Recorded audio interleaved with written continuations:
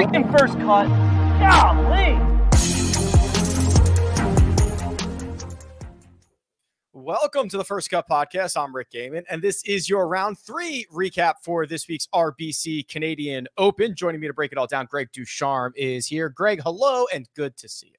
Good to see you too, Rick. Um, been quite a week, uh, but this this tournament is uh, turning out to be quite a good one. We've had some of the cream rise to the top, if you will. We got some Canadian players in the mix here, which would make somewhat of a history if one of them were able to do it. But it's been it's been a pretty cool week so far. For those keeping track at home, that was a quite a week. That was not an official what a week.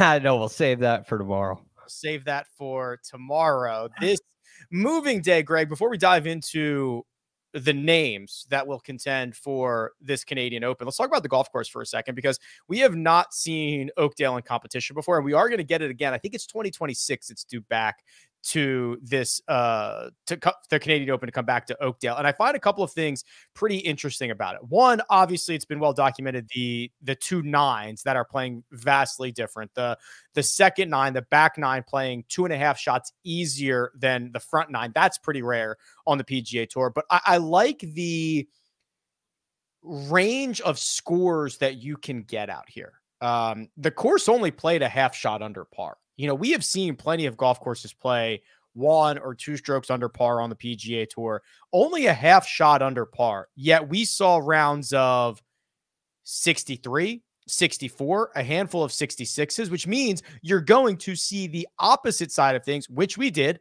couple of 77s, handful of 76s, some 75s out there. So it creates a really wide range of scores. And I don't think the scoring average really tells the entire story here. No, and it, you know, not an overly long golf course either, Rick. And so, what creates that? And it's not firm, and it's not really all that fast, right? It's kind of soft. So, what creates that difference? Well, you have really thick rough, and you have a lot of trees. And when you when you add that combination, it puts a lot of pressure on your tee shot. And if you have a round like Carl Yuan did today, where you only hit five fairways, you're you're fighting behind the eight ball all day. I mean, we've seen guys, um, you know, advance the ball a couple of yards out of the rough, right? We've seen some of those top shots. It comes out tumbling. You get some really challenging lies and situations in this really thick rough. Uh, and and if you hit it into the trees, you got another set of circumstances. Now you got to keep it low. You got to carry it over rough. You got to keep it shy of the fair. It, it creates a lot more challenges. So I, I like that aspect. Uh, I like having that really difficult stretch three, four, five, and six, and then a back nine where I mean you're basically trying to hang on on the front nine. If you can get in that through there under par, you're in really good shape, and then you go chase it on the back. Um, there's probably you know one hole I'm not a big fan of. 18 is it, it's very it's close to being a really good hole, but what, it's what would make it what would make it a good hole? Well, it, it's like too far. It, it's not worth it to try to hit it over the creek. Mm. You know, if it were a little longer and guys were hitting driver or three wood uh, to the that narrow area, mm-hmm. like if if the question is, well, can you hit driver into a 26 yard area with a little bit of slope, or you hit three wood shy of the hill? I mean, this is a four. This is four iron three wood. It's it's a a bizarre thing. So you almost end up with everybody hitting it to the same place off the tee, and then it's a fairway wood into the green. And and if it was a little, if the tee was back a little farther or a little farther forward, where guys were challenged to go over the creek, um, well, now I, I think it makes the hole a little bit more interesting. So it, it's close, but it's a little it's a little odd they got a couple years to figure it out. We'll see what they can do at 18. Well, usually we start with kind of an early mover or maybe a guy that is going to play a role in the storyline on Sunday. Nick Taylor checks off both of those boxes for us because he got out early and shot not only the round of the day, the round of the tournament, and technically, because this is the first time at Oakdale, the, the course record with this composite of 27 that we are playing here this week, marked down to 18, a 63, Greg, a bogey free 63. Out in 31, that's the difficult side. In in 32, and he, he injects himself into the conversation of trying to become the first Canadian to win the Canadian Open since either 1954 or 1899, whoever you believe. 11 under par for the tournament. He will enter the final round three shots off the lead. In um, you know, the golf course really suits him well. But when I look at this scorecard, the biggest thing to me is the, is playing that stretch three through six in two under par. Mean that that's a huge advantage. Not only does he not make a bogey, but he gets he, he gets away with two birdies in that stretch, which is really nice. Um, so this look when you go shoot a 63 and set a course record, it's a great round and it requires a lot of things to go really well.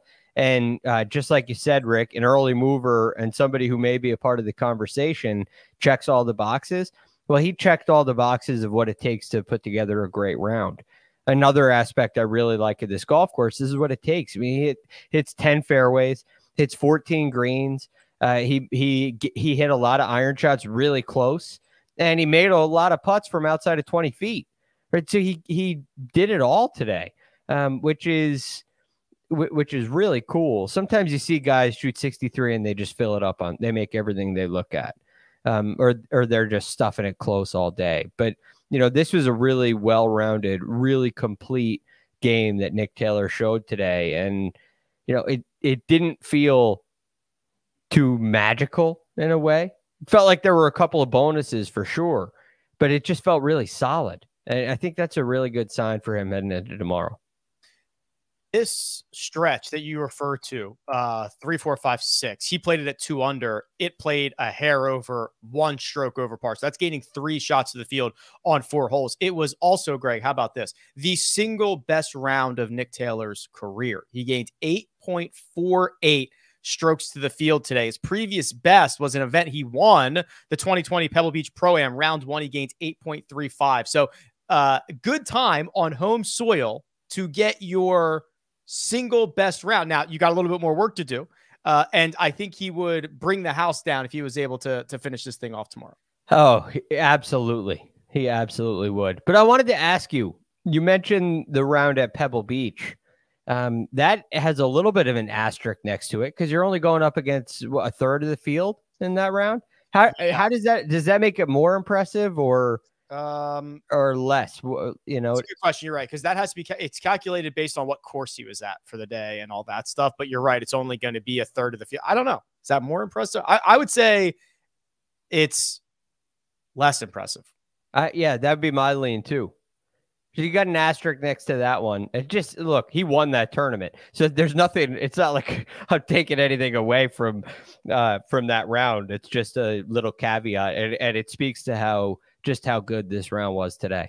Yeah, another really good round was out of Tommy Fleetwood, uh, eight under mm. 64, uh, which is one shot worse, obviously, than Nick Taylor's nine under 63. This was with a bogey on the card, did not survive that stretch three, four, five, six unblemished. He made bogey on six, but played that stretch at even par. That stretch needs a name, Greg. If we have the horrible horseshoe, if we've got Amen Corner, if we've got the undertow, if we've got uh, the Green Mile, if we've got etc. etc. This four hole stretch, which is incredibly difficult, needs a name. And all, they're all par fours. Maybe it's um the feared four or something. Oh, feared four. Because they're all par fours. Most of those stretches have a par three in there. Um, the bear you know, the bear that's trap. That's two, par, par threes. threes. Yeah. Right. So it, you know, it creates a, a very name worthy situation because they they play like every day the four hardest holes on the golf course. Yeah, by far. That, that never happens. You yeah. know, like even at the Green Mile, yeah. 17 one day will be up. It'll give up a bunch of birdies. Um, it's like hole location dependent, tee box setup dependent. This is just nope. They're they're the hardest holes every day. Yeah, which is unique. Um, but Tommy, yeah, after, Tommy's got it going. After a pair of 70s, uh, Greg, Tommy shoots this 64. Yeah, he, um, I, I think he's starting to trend in the right direction. Uh, even before this event, you know, he was one of those guys um, that I was, I, I really, there were three guys I liked all European Rose, Fleetwood, and Lowry, who I thought were all kind of trending in this um, positive direction. It seems it seemed all year like Fleetwood hasn't been as impressive as you know maybe Justin Rose has as far as w- what's happened recently, but um, but it seemed like his ball striking, his tee to green play is looking more and more like it did in 2018. Um, and, and you saw that today. He drove it beautifully today, hit 12 of 15 fairways, that led the field in strokes gained off the tee, mm-hmm. and gave himself a number of opportunities in that 10 to 15 foot range. And and he he cashed in on them. So he led the field today in strokes gained putting as well. Uh, but when you watch that round, it was like there were so many good looks that he had. It wasn't. It, it didn't feel like he was just hooping it from everywhere. It's like he he made putts that you think you should make. Um, maybe you'd like to make, but it, it wasn't these crazy 25, 30 foot putts going in all over the place. It was, oh, I hit it to 10 feet and made it. I hit it to 13 feet and made it. I hit it to 14 feet and made it. Um, it, so it, it was it was really good and took advantage of the par fives, which is also um, really helpful. Yeah, Tommy Lad still looking for that first win on the PGA Tour. He's going to give himself a good chance being two shots back with 18 to go. We still have to talk about Rory McIlroy. We still have to talk about Justin Rose. We still got to talk about the guy who's leading the golf tournament, which is neither one of those two. But first, we're going to take a quick break and hear a word from our partners. Someone hunted a hunter. This is the work of serial killer.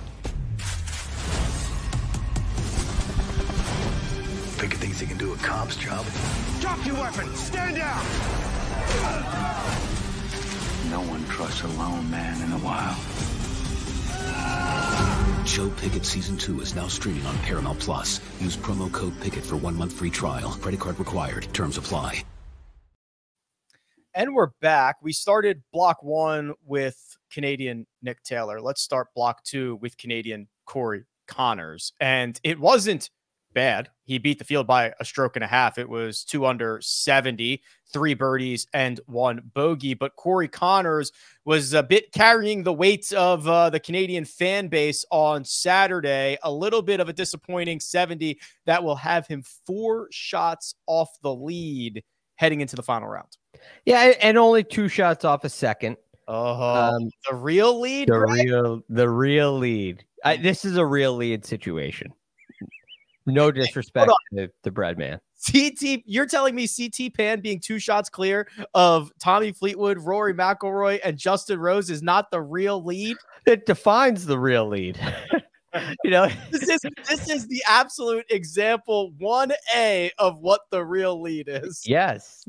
so look, the real lead's at twelve, and and CT Pan could do it. Uh, we'll get to him in a little bit, but um, so yeah, the point is, and the only point I'm making is that Corey Conners is right in the mix of this tournament, uh, and Corey Conners is playing this week.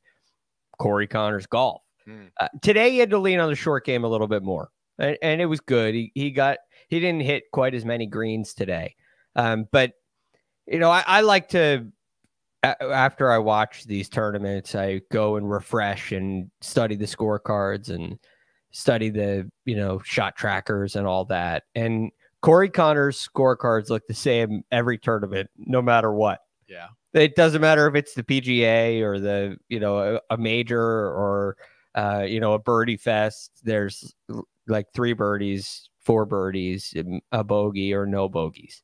It's it, it is so impressive how steady and consistent he is. And when you actually watch him hit golf shots, you understand why. He just he plays the same shot over and over and over again. He hits a little draw. May, if it misses, it it just doesn't draw. It's rarely does he miss left. It, it's just so steady. Um, and and that's what he did again today. I mean, he hit, hit a lot of fairways today. Missed a couple more greens than usual, but he doesn't put himself in really difficult situations. Um, I guess he did today on 18, but that's a, a, a long shot into that green. Uh, so look, this is Corey Conners being Corey Conners. Tomorrow he's going to need a little bit more magic. He's some one of these guys uh, is gonna is gonna fill it up again on the greens and go make a ton of birdies. And and for Corey Conners to do that, he doesn't have to do anything different tee to green. It, it's just it has to be a hot putter.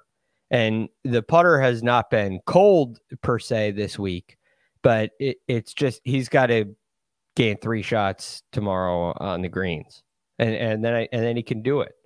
Um, but that hasn't happened all week. He's gaining just over a half a shot for the week, um, and and he, he it's it's not atrocious, right? He is not a team no putt guy. It's just very. He's like a zero. He's like a zero putter. Then he needs to. He needs a spike a spike day tomorrow. A spike day with the flat stick came on Saturday from Justin Rose, who gained over three and a half strokes putting second in the field. He made eight birdies, eight pars, two bogeys en route to a, a six under 66, which was highlighted by this second nine, Greg, where he made five birdies in a row, 12 through 16. Took a little bit of a break on 17 with a par, and then got one more on 18 to come in in 30. And you talked about it a little bit earlier uh, a resurgent year for Justin Rose continues. It does. Um, and again, it's very similar, although more m- more pronounced than Tommy Fleetwood. This is starting to look like the guy uh, that was world number one in 2018. Now he he is not as long as he was then, uh, at least relative to the field. So he's a, a much shorter hitter than he used to be. Um, but he is swinging beautifully. And the iron play is really coming along. You know, over his last three weeks entering uh, this tournament, he had improved his strokes gain approach. Hmm. Um, and, and, he gained like what, what, almost eight shots approaching the green uh, at the Charles Schwab. So yeah. things are really starting to look precise with the iron play. Uh, and he did that on the back nine. He gave himself a ton of opportunity. I mean, it really, he should have finished this round with seven birdies in a row. He had 10 feet for birdie on 17, and it was very makeable. Yeah, and it, and it didn't go. I mean, look, you're not going to hold it against the guy, but it was a heck of a round. But it, I mean, he's 10 feet away from this being seven birdies in a row to finish. and he has that capability, it seems like every round, because there's so many short holes on this back nine uh, the way that he's striking those short eh, short irons and wedges, it's a it's really pretty to watch. So you know he's a he's a guy I have circled on on my list heading into tomorrow for sure. I will give him a little bit of a hat tip because he did the uh he came in, you know, sat with Amanda and did like the call, the play-by-play call afterwards. And there's there's kind of two types of guys that you get here. What the the one guy who does not speak unless someone says, "Hey, Justin Rose. What do you think of that shot that just happened? Or the guy who just jumps in and starts talking about the shot and relates it to the shot that he had from a similar position or a putt that he had or the difficulty of the shot. Justin Rose was the latter. I loved it. I was I was impressed by it. I like when they just get in there, start calling the shots, and have after it. That that's what I'm here for, right? I mean, you're, you're here to talk. it's not like if you or I, Rick, were put in that position, it'd be like, okay, the last thing I want to do is talk too much. Right. I don't want to. But if it's Justin, nobody's going to be annoyed by getting Justin Rose's analysis. He just played the golf course, just shot 66. He's right there in the mix. We want to hear from you, Justin, uh, and and he gave us that, and yeah. he always does. I mean, his his interviews are are world class. He, he gives you so much detail.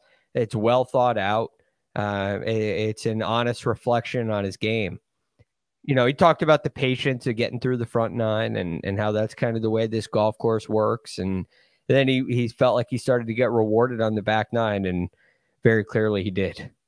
The pre tournament favorite, the guy who we spent all the oxygen on, the guy who I at least said, oh man, with that wedge game and that putter and everything that he's dealing with, no way he's in the mix come Sunday. That guy, Rory McIlroy, a six under 66 bogey free. He did all of his work, Greg. By the time he was done on 13, he actually played the last five holes at even par. Probably felt like a couple of opportunities got away from him there. But if we are calling it the real lead, 12 under par, which is two shots off the actual tournament lead, uh, then Rory McIlroy is there. And I'll tell you what, I I'm I I will never I will never speak ill of Rory again leading into a golf tournament. Well, I can understand where you're coming from. I mean, with this week that we've had, it's a bit of a shock for someone like Rory McIlroy. Now, um, on Thursday, I did say that this was going to be a good thing for Rory. I, I believe that this all of this news in the world of golf is going to simplify things for Rory, uh, and he no longer has to be a you know sounding board. He's he's not fighting a war anymore. Right. Whether whether you like it or not, it's irrelevant. Things have gotten simplified. Unless he's lobbying with the you know Department of Justice or something, which No, I think Rory, I think Rory's done going to battle for a, a cause. Right, right. So it, it feels like this war is over, and now Rory can focus on his game. But that's not really what this week is about for me. You know, that's that's coming kind of. I was thinking U.S. Open rest of the year. Maybe that's come a little sooner because things look really good. It just it, he's the guy where it it feels like he's just this good. You know, it, it's like he's putting really well. Um, but he still hit a couple of putts that, that aren't I'm not crazy about. Um, but I love what he's doing on the greens overall. The wedge play is it. it, uh, what do you think about the wedge play, Rick? Because I'm I'm very much in the middle on that. Um, I thought he hit a couple good ones. I thought he hit a couple good ones on on um on Saturday. I think that overall, listen, Rory McIlroy is a world class player and has been a world class player for ten years. Uh, it is very nitpicky, but I think it is pretty safe to say that wedge that wedge game can be one of the weakest parts of his game. Now, there are probably 90 guys on tour that would trade wedge games with him, right? Like it, it, we're putting it all into perspective here. Um, so I think because of how high the bar is for Rory and the expectations, and every time he gets in contention, if he doesn't win, you have to point at something. Last week, it was easy to point at the misses with the wedge. I don't think he's great with a wedge in hand, but he doesn't always have to be. Right. Absolutely right. And uh, and he also gives himself so many wedges. Yeah. You know, that's another that's another aspect to it. But there's still some misses in the distance control where Agreed. you know, that's where I think he could really improve. He comes up 25 feet short from 100 yards. Uh, How bad is that statistically? No, it, no, it, it's not terrible. Um, but it, but you're talking about somebody who we view as a top player in the world. You know, maybe the maybe the best player in the world, at least talent wise. Um, so th- it, it definitely lacks. When you look at Scottie Scheffler, he's flag high all day uh, and Rory's not. So, uh, but I do feel like for this week, we look at just this tournament, the wedge play is getting better. Uh, I thought yesterday's wedge play was better than round one's, uh, and I thought it was kind of the same today. So, some good ones, some shaky ones, but all in all, he shoots 66. And it was really fun to watch. When he's making putts, it uh-huh. it's fun to watch.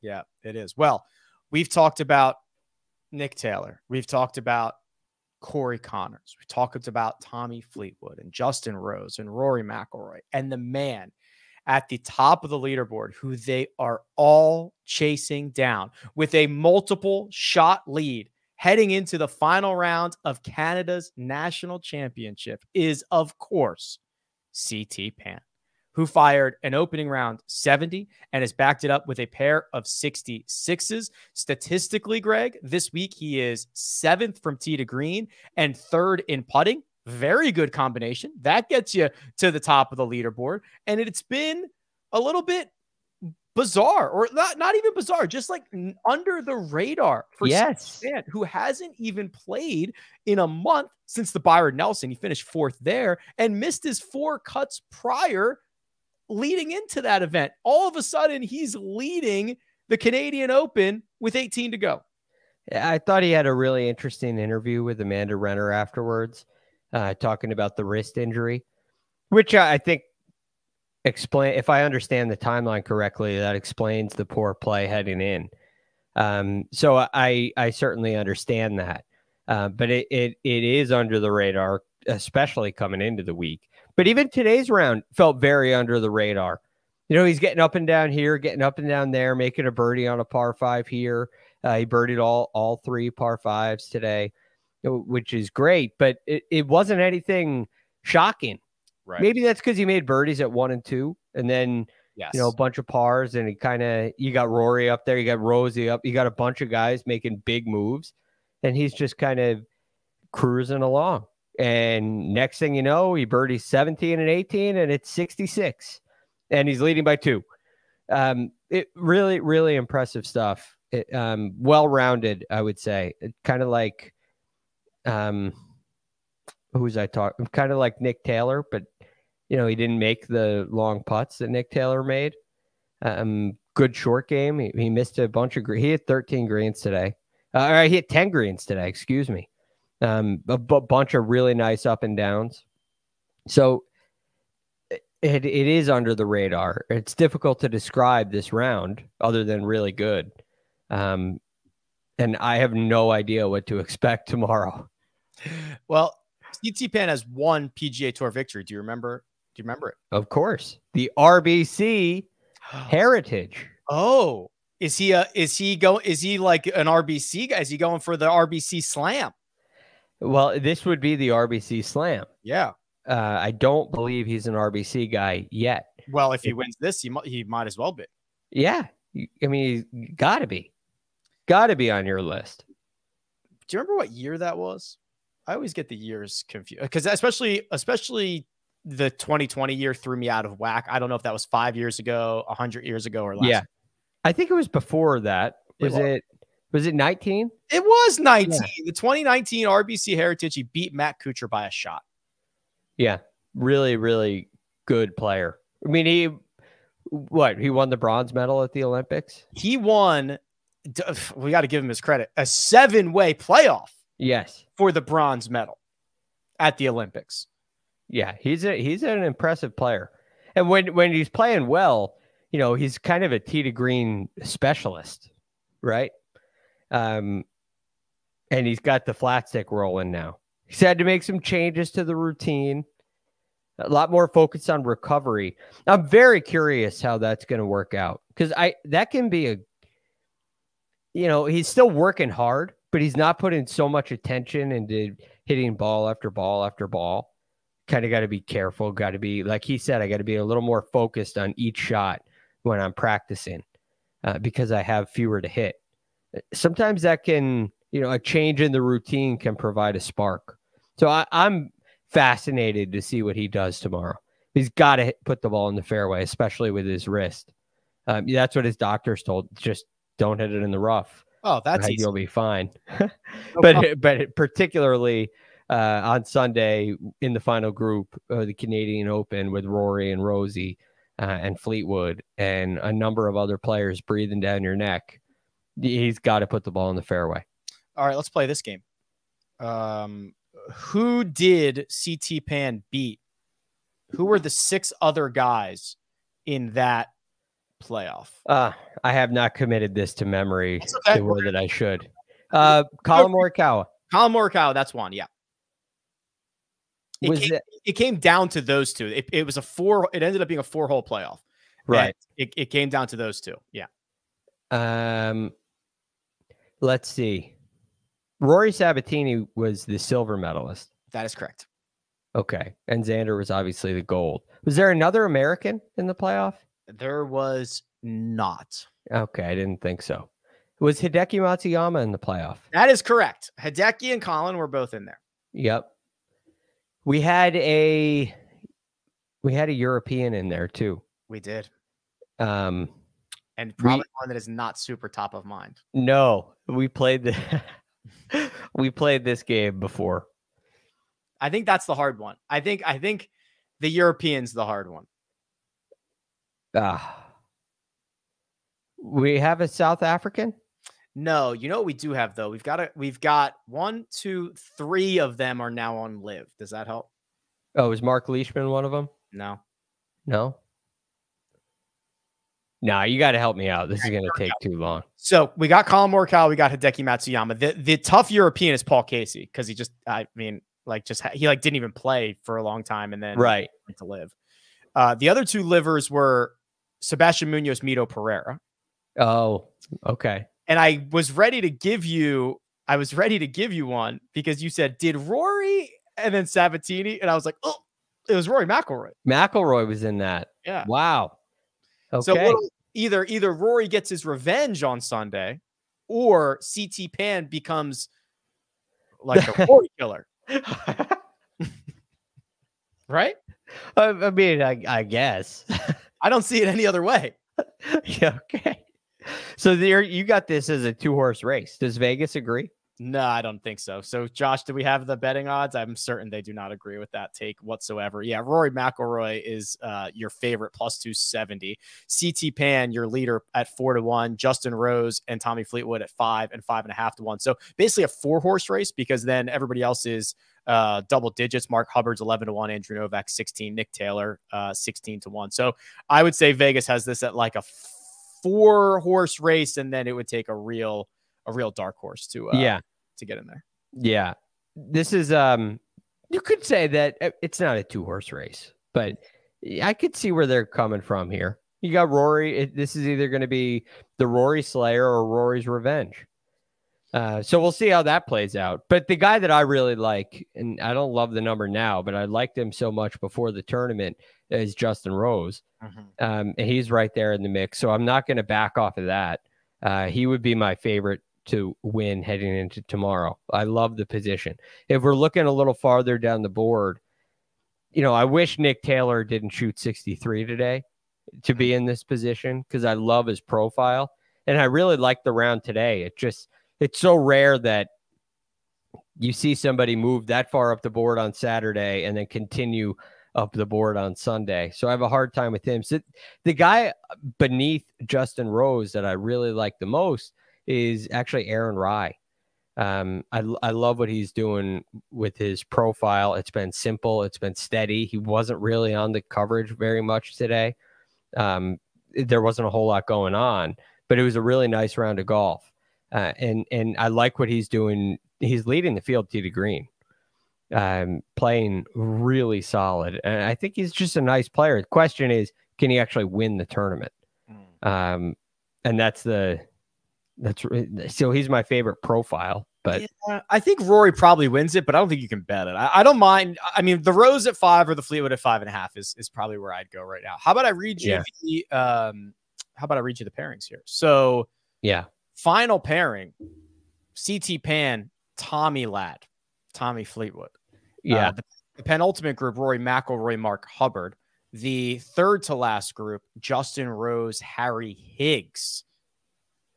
uh, McIlroy and Hubbard played today. That's right. So comfy, Yeah. comfy back at it again. Yeah, Hubbard played some really good golf. too. Hubbard's Hubbard's good golf got overshadowed by Rory's like Right. forward. Right. It, it's again, it's hard to see Hubbard winning this thing, but I mean, his iron play and wedge play was phenomenal today and has been all week. So I, I like that. But boy, Rick, does that la- does that final pairing worry you? Could you see them being kind of like Carl Yuan and Aaron Rai today? I think there's a chance that that they get dropped from coverage quite early. I mean, you know, Tommy, Tommy, listen, I I want Tommy to break through.